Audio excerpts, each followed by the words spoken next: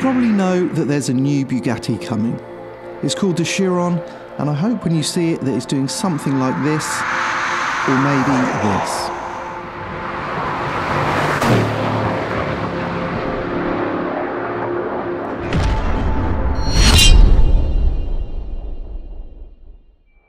You see, the Veyron, the original hypercar, I suppose, has never commanded the awe and excitement of cars like the Carrera GT, Enzo, or latterly the P1 and LaFerrari.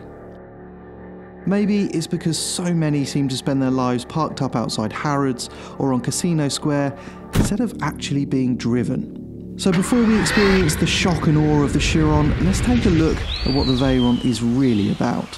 Here in Grand Sport Vitesse form have to say, I've always felt that the Veyron got a bit of a bad rap. There seems to be this feeling among enthusiasts that it's just a numbers car, that it doesn't have anything else.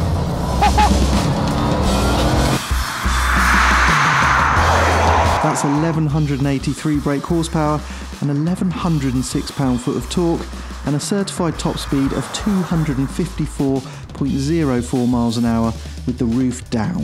And while it's great to get a reminder of those numbers and what it feels like before experiencing the Chiron, what's really amazing about it is it does feel cohesive and there's a quality to everything.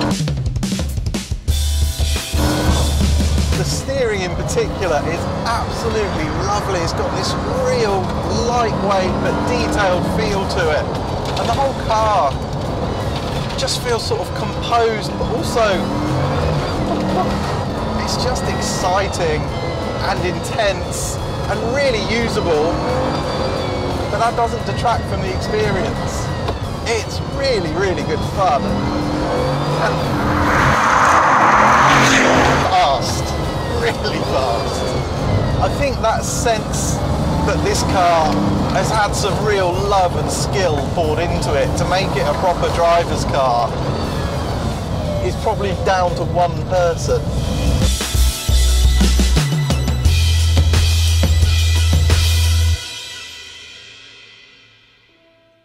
He's called Loris Bicocchi and he's the supercar test driver. Formerly of Lamborghini, later working on the EB110 GT, Pagani Zonda and various Koenigsegg's, before becoming Bugatti's test driver. And with the Chiron, he had a much freer hand to create a properly focused driver's car. Can you tell us if you were given more freedom to be a bit more aggressive with this car? Yes, yes, it uh, was important for us to, to, to, to get from him uh, input. Well, okay, he told us when we reach this point where you don't know if you must focus more on comfort and sport, agility and uh, performances, please take, take the last options.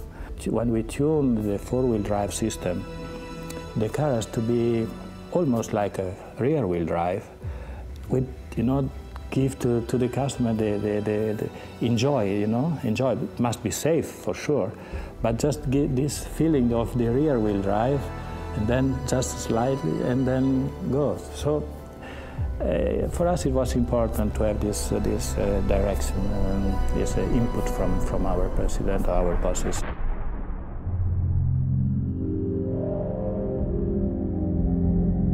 This then is a Bugatti that perhaps we can all celebrate for putting driver involvement first. And my god, it looks good. There's an aggression and confidence, a sinister swagger. Let's deal with the extraordinary numbers first. The quad turbocharged 8 litre W16 produces 1479 horsepower and 1180 pound foot from 2000 to 6000 RPM. Just two of the turbos operate at up to 3700 RPM to improve response, and then all four work in harmony. Final figures are yet to be announced, but the car should do 0 to 62 in under 2.5 seconds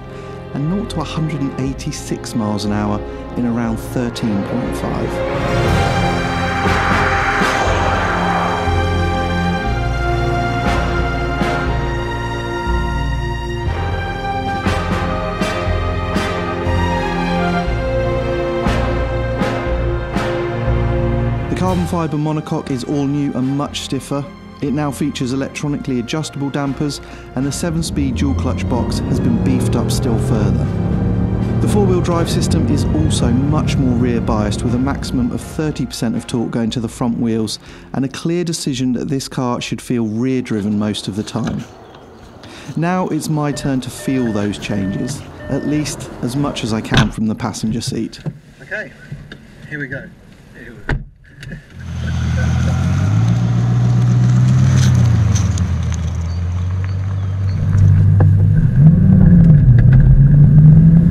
Ready?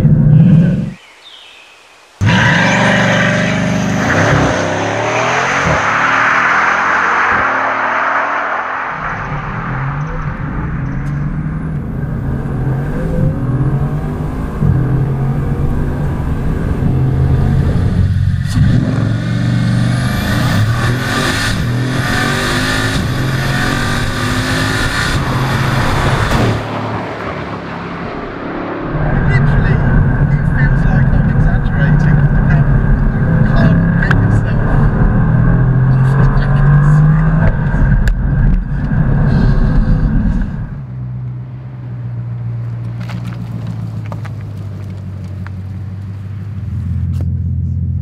That is just ridiculous, actually. It's violent. Just bang, comes in and then gets stronger, ramps up. The more the more gears you take, the more performance just ramps up. It doesn't feel natural. That is proper nuts. Perhaps it's no surprise that the Chiron can take your breath away and make you giggle like a kid on a roller coaster. But the scale of the performance gain is huge. There's so little lag, such consistency from low revs right up to the limiter, and a kind of precisely delivered violence that borders on surreal. More impressive is that each and every element of the car matches the sheer thrust.